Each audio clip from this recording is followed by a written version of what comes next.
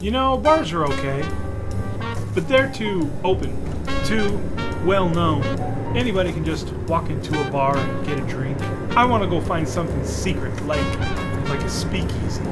Speakeasy? Yeah. Think they have some here in Las Vegas? I'm sure there's a speakeasy in Las Vegas we could find if we know the password. Well, let's go find some speakeasies. Let's go find some speakeasies. So come join us while we try to find some speakeasies in Las Vegas. Some underground stuff. Welcome to Destination Vegas. The adventures of Diego and Tosh in the fabulous city of Las Vegas.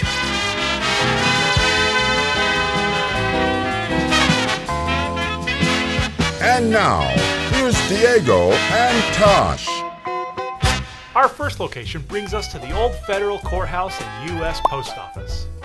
Now it's a museum dedicated to the history of the mob.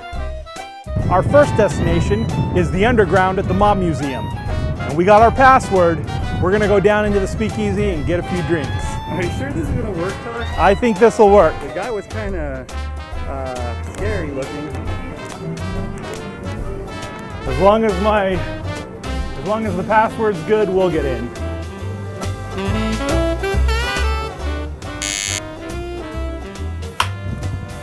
Scram. How we doing? Excellent.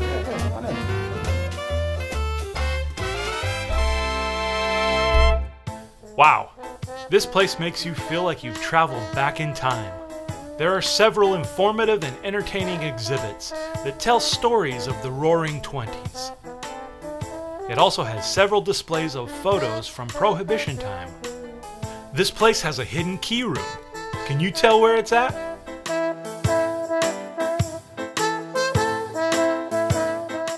Pretty sneaky, right? Isn't that freaking cool? Don't mess with the mob, see? Because you'll be sleeping with the fishes. The Speakeasy has hundreds of artifacts relating to bootleggers, moonshine, flappers, and anything about prohibition. They even have a working moonshine still. Look at that still. That thing's awesome.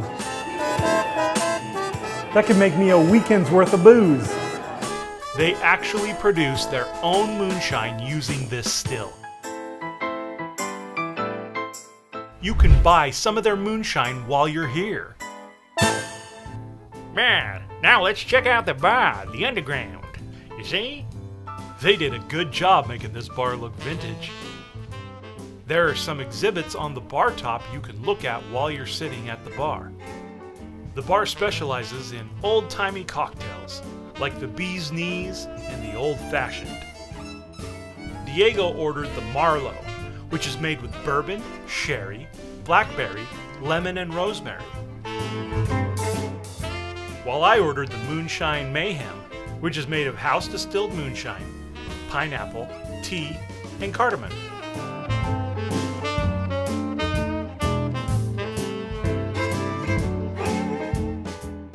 Was quite entertaining watching the bartenders make our drinks. First up, Diego's drink. His drink was hidden within a book. That is awesome. Do you think they did this back in the Prohibition time? Next, my drink. I loved the pineapple topping.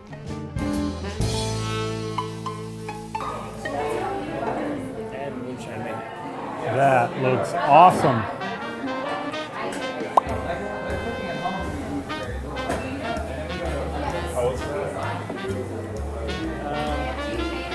Good. That's good. As mentioned before, Diego's drink is hidden in a hollowed out book. The drink is contained in a medicine bottle, which then must be poured out into a glass.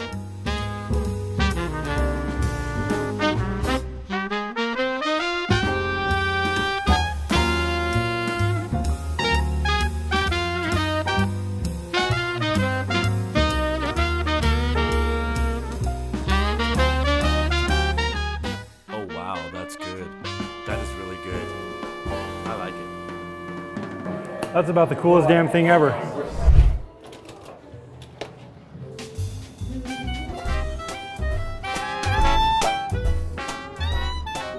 So we just had a drink at the underground at the Mob Museum. My drink was okay, but mine had moonshine in it. Diego's drink was amazing. So good. So good. So if you're in Las Vegas and you're near the Mob Museum, stop into the underground, get yourself a drink. Just make sure you find the password. You can find it on Instagram. Just follow the Mob Museum on Instagram.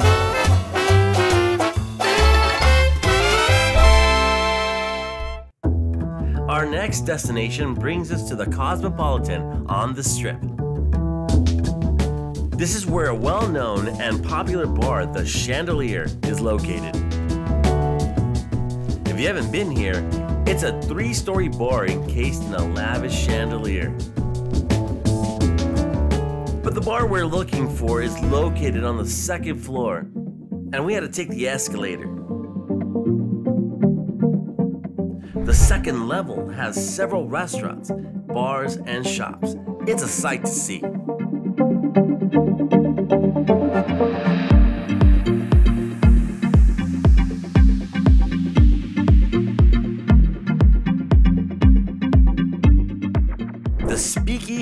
Located within Block 16. This is a food court area that has several unique restaurants, everything from American cuisine, sushi, and sandwiches. The corridors don't have any indication that there's a bar back here. As a matter of fact, it's located within this dining area. The only clue you get is this sticker of a Mexican donkey. The weird thing is, there's an exit sign above the door. Basically, if you're not in the know, you won't know there's anything back there. Let's check it out.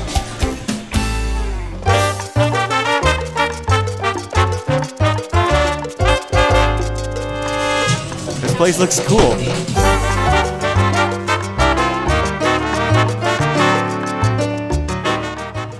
Hi, good. How are you?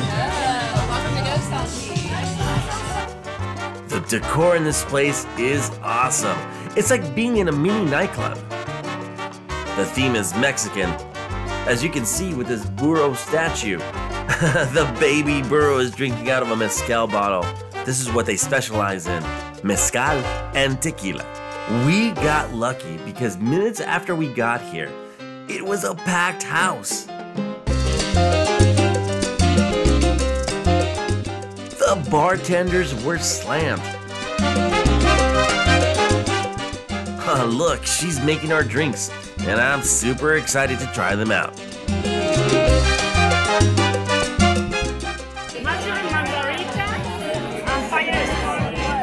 Squad.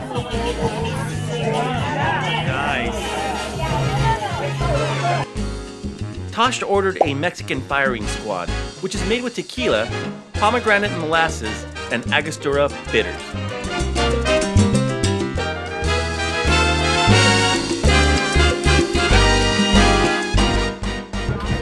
Mexican firing squad.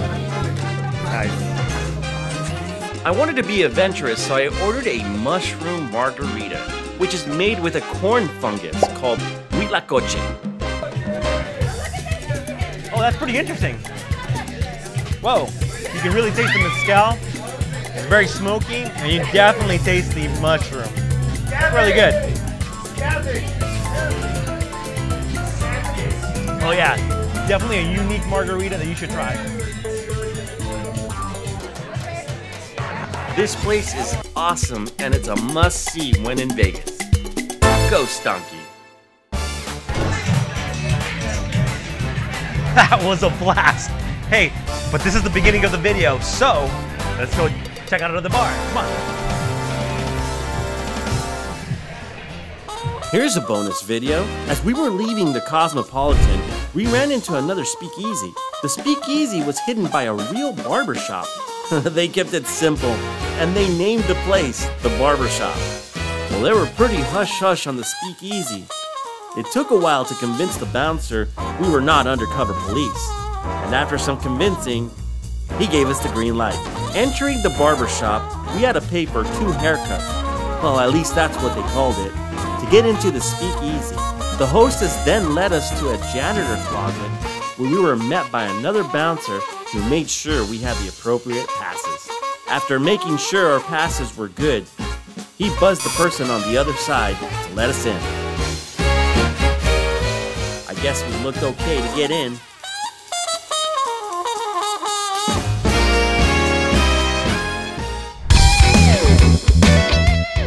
This place hosts live bands practically every day. The bartenders are awesome, and so are the drinks. For a good speakeasy time, come to the barber shop at the Cosmopolitan. Our next destination brings us to Capo's Restaurant and Speakeasy, located four miles off the strip. I was ready for some great Italian food, but my shirt collar wasn't. I want to take this time to thank Tosh for pointing that out. Thanks, Tosh. Thanks, thanks very much. So we're here at Capo's Speakeasy. Let's check this place out. We need a password. All right, so you're supposed to give a password. Some shady guy gave me a password. Let's see if this works out. He told me to ask for Sharon Stone. Just like all the other speakeasies, we had to buzz a ringer to get in. I guess that's a thing with speakeasies. Bo, they told me to ask for Sharon Stone. Sharon Stone. Yeah. Are you sure? Come on, how you Thank doing? you, thank you. Good, good. The restaurant is very dark and has a vintage feel to it. It definitely feels like you are in an Italian mob restaurant. The host thought we were with another party that also was given the password Sharon Stone. Do you see them? Who? Sharon Stone? No. You don't see them. No, we were supposed to be alone. We were supposed to uh, sit at the bar. Oh, just two of you? Yeah, yeah. Oh, because uh, somebody else came in by the name of Sharon Stone. Oh, okay. No, that was that was me. I don't know.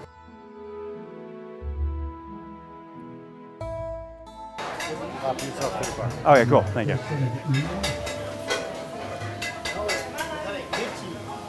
We had decided to sit at the bar. There you can see the cooks in action. This place has several Al Capone images throughout the restaurant. There's a reason for that. For those of you who have been living under a rock, Al Capone, also known as Scarface, was a Prohibition era gangster who dominated organized crime in Chicago from 1925 to 1931 and became perhaps the most famous gangster in the United States. The owner of Capo's restaurant was able to acquire Al Capone's family secret sauce. You can try their red sauce with Capo's famous meatballs. I decided to try the chicken fettuccine and Tosh had mushroom fettuccine. The pasta dishes were fantastic.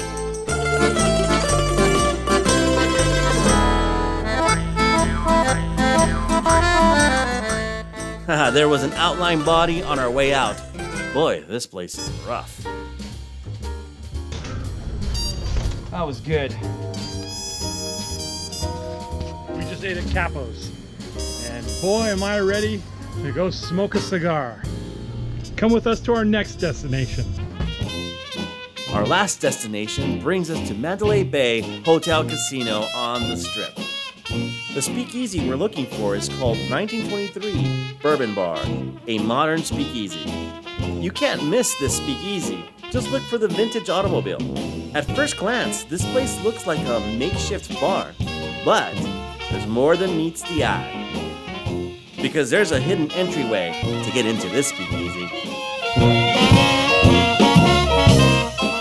Now, isn't that cool? This place is awesome. The decor, like other speakeasies, is meant to evoke a 20s era vibe. This place has a smoke room that just screams vintage elegance.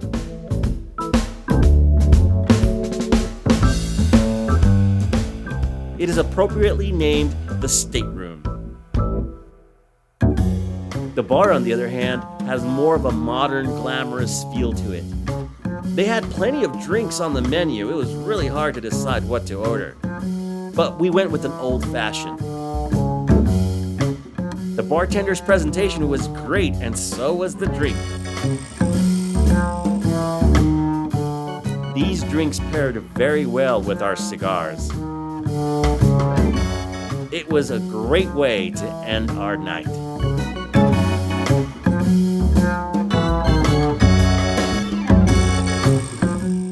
If you're near Mandalay Bay, you must visit the 1923 Bourbon Bar and Speakeasy.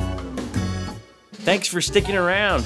That is the end of this video. We hope you enjoyed it, and if you did and have not subscribed yet, please do so by clicking on the subscribe button, making sure you also hit that bell icon to get notified of any new videos. As always, thanks for watching, and see you soon.